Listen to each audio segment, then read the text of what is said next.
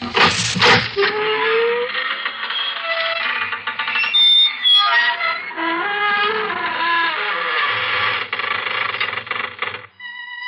evening, friends of the creaking door. This is your host to welcome you once again into the inner sanctum. Come on in, and never mind looking back over your shoulder. Whatever it is that's behind you can't be half as bad as what's in front. as the man whose throat had just been made the scene of an experiment with a razor while he slept said, I'm going from bed to hers.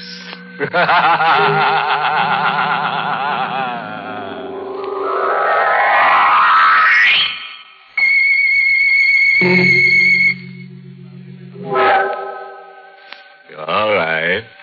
Settle down now. It's coming. And there's nothing you can do about it. Just keep a good hold on yourself and your wife if your life insurance paid out.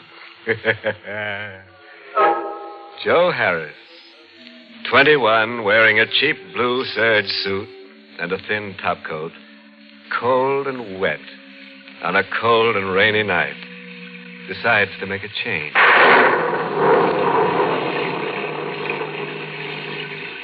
Kansas City's okay, but there's nothing there for me. I gotta get out. My wardrobe ain't built for a hard winter, so I figure it could be more comfortable on the coast, California. But I ain't paying for rail transportation this year, so I head for the KC freight yards. And I pick me out a nice long freight job that happens to have an empty car. And pull the sliding door over, leaving just a crack for air and finger hole for when we reach the land of oranges. The old boiler up front's got the steam up. And we're off. Ah, I relax. All I gotta do is let a couple of days slide by and. Sunshine. Hey. What? I. I didn't notice nobody else was in the car. Didn't you now, Pally? No. That's too bad. Hmm. He leaned back into the darkness of his corner so I couldn't see him very good. He was a young guy, maybe my age, maybe a couple of years older. My size, too. Same color hair and eyes. Almost close enough to be brothers, but there was something in his eyes that had never been in mine. I was scared. You know something funny? You look like me. Yeah, I kind of noticed that myself in a. Why?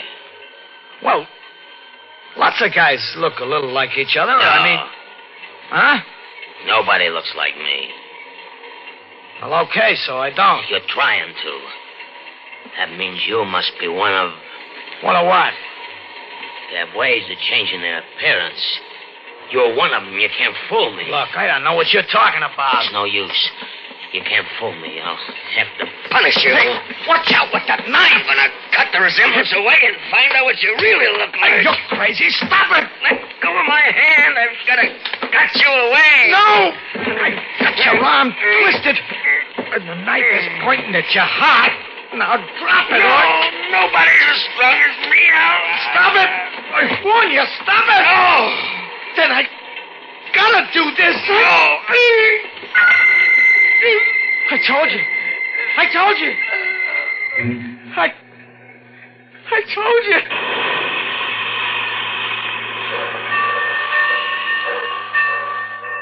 Dead. Hey. No, he's dead. I gotta get out. The door. Slide it open. Put the odd bones. Another one of these sliding doors. Why don't they snap them proper? Give me a hand, Charlie. Okay. What? You, you locked it. Now I can't get out. I can't get out.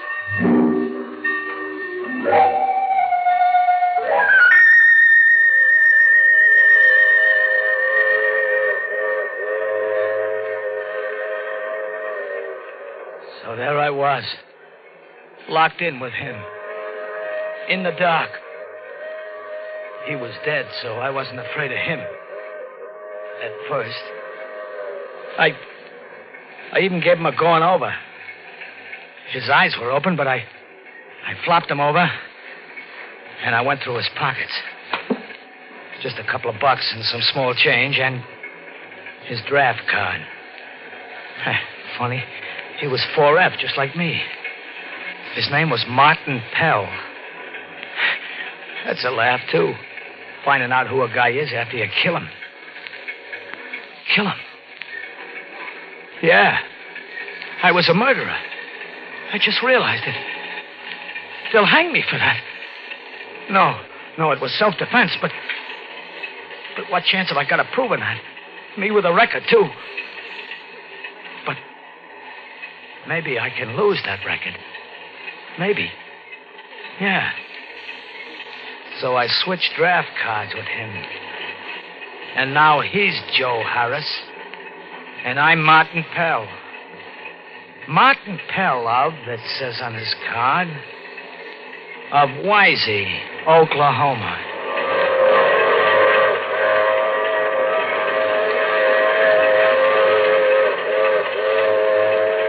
And the hours go by, and I'm there with him locked in a boxcar. And the wheels keep pounding underneath. And he's dead. I. I gotta get out. There's gotta be a way. The door. Shut. I. I gotta think. Think.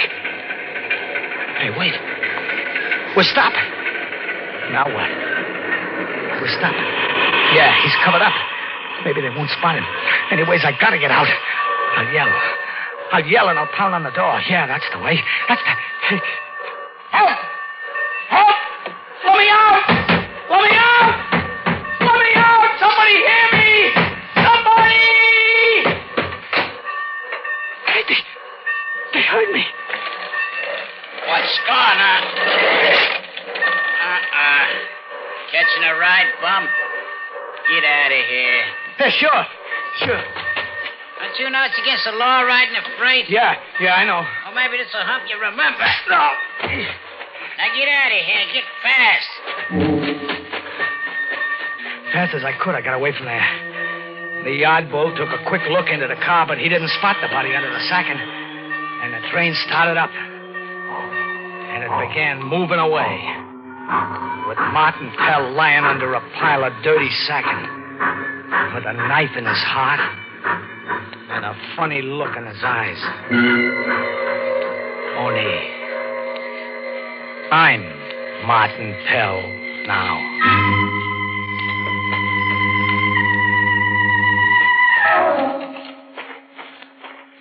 It was only a watering stop where the train stopped, so I walked across the prairie. Not knowing where I was going and not caring much. Well, I. I keep walking across the dark face of the land until I spot a light. A couple of lights. It's A small town, it looked like. A small town, somewheres. Where? Right on the edge of town, there's a lunch wagon, and it's open. And there's a light shining in it, and I'm hungry, so I go into the lunch wagon. How about something to eat, huh? Sure thing, Martin. Sure thing. What? What did you say? I said, sure, you can have something to eat, Martin. What'll it be? Martin. What? What town is this? Why, you ought to know, Martin. This is Wisey. Wisey, Oklahoma. Wisey, but but that's the same place. It, it can't be. Oh, that's no way to talk about your own hometown. Of course, you've been away quite a few years. You look good now.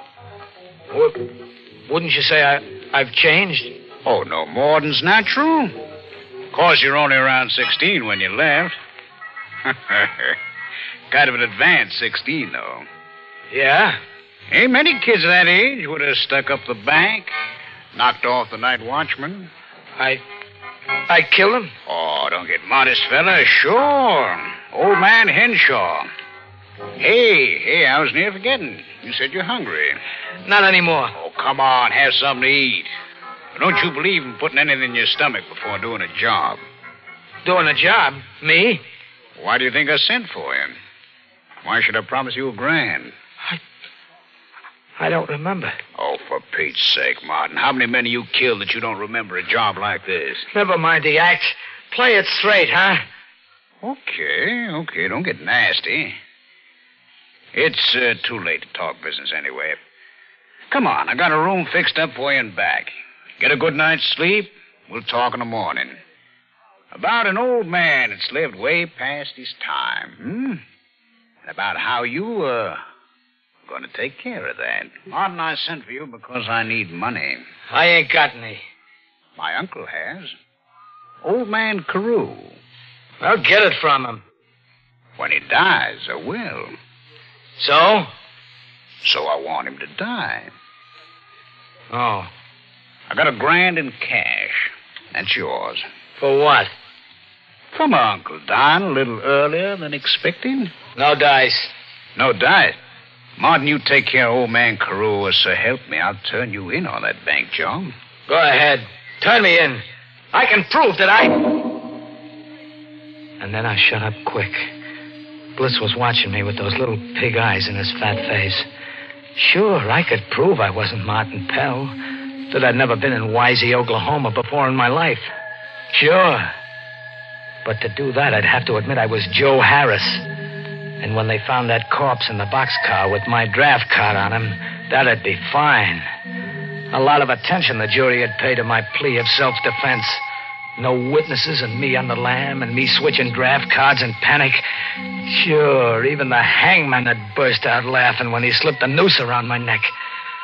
I shut up quick, Bliss watching me close. And then I said, Okay, Bliss. It's a deal. What's the layout?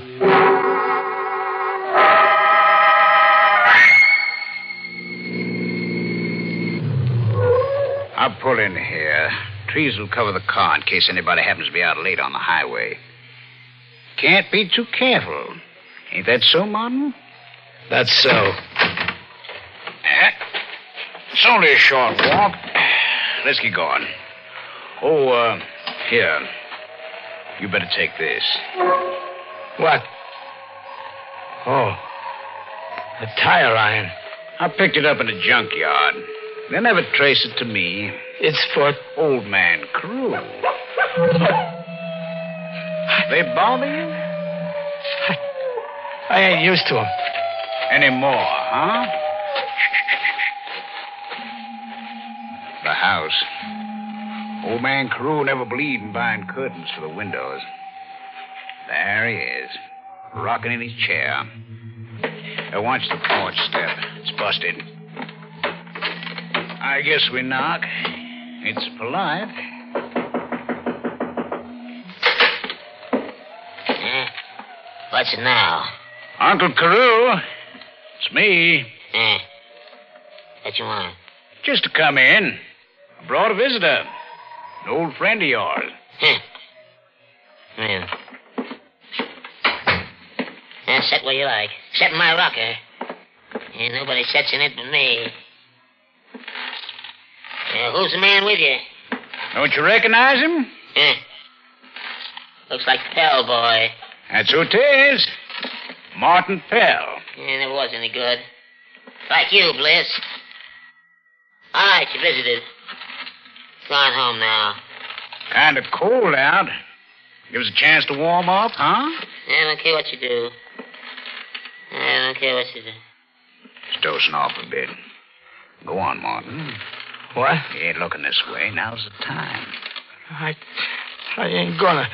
He's an old man. Give me the iron. What are you. Give it to me. All right, here. Yeah. Uncle. Uncle. Yeah.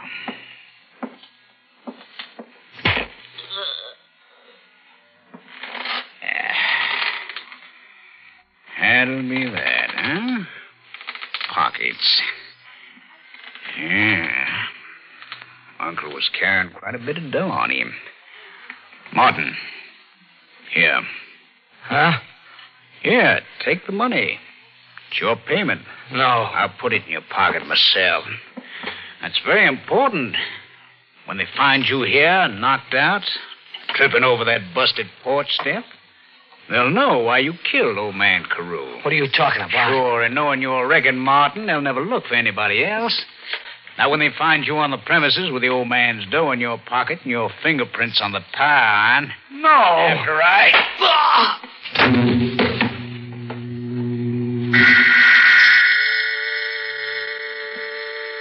I was walking up a long flight of stairs with nothing at the top but more stairs and more stairs, and my head was hurting. And then I woke up. Woke up lying outside of old man Carew's house with a blood-stained tire iron in my hand. I let go of it. I pulled myself to my feet, and then I heard cars. They were coming, and there I still was. I had to get away fast. I I didn't know the country, but I was hunted, and a hunted animal's got an instinct to hide, to run, and to hide from the killers. They didn't find me that day because I fooled them. I didn't try getting out of the county, getting away from the town. Oh, no. That's where they were watching for me. So I stayed put close to town, which fooled them. And also, I had a job to do. Who is it? Martin. Me. What, what are you doing here? I got paid for a killing I didn't do. So I figured maybe I better do a killing now for no pay at all. Stay where you are. No, we're alone here. Uh-uh. I got this knife. No, no. Bliss, you got a pencil? Pence. Yeah, sure. Then sit down and write a little note about how you killed old man Carew. No. I got the knife against your heart. Sit down and write. All right, right. Well, Just write. I killed I killed. my uncle because I wanted his money. You got it? Good. I got it. Now sign your name pretty. I, I. Oh, I signed it. Take that knife away. Sure. After I. Yeah. Goodbye, Mr. Bliss. Now, I'd better put the knife in your hand. Like this. Too bad your nerves went back on you. You committed suicide, Mr. Bliss. That's what you did.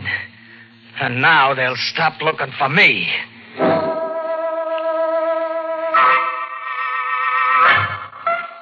I holed in and waited until they found Bliss. So the law was called off. There was nobody to look for. So I headed for the water and stop and the freights because it was cold. And I was heading for sunshine. There was a train getting ready to head for the coast, so I sneaked close to it. On the far side, there was a couple of bulls around chewing the rag, but they didn't see me. I spotted an open boxcar and I climbed in. I got away from the door. The bulls were coming along checking. One of them sounded like the guy that had thrown me off the night before. Ah, this time I didn't care. I was hoping he'd lock the door on me. So I curled up in a corner and waited. Yeah, Mike, that was quite a wreck they had up ahead. Quite a wreck. Held up the line for 24 hours. The freight here had already pulled out when word came in of the wreck up ahead, so they backed her right back here and let her stand. But she's on her way now. Uh-uh. One of them sliding doors is open. Give me a hand with it. Hey, wait, wait, wait. If this is the same train. It, can't be. Th- This car. If, if it's the same train, this second would be over there. Let me see. The second. Yeah, it's the second. And under it. I gotta see. Yeah, It's him. Martin Pell. and, and I'm locked in with him. Me and Martin. The killers. we, we're going to the sunshine together. And that's how the cops will find us. Together. Him dead. And me. And me.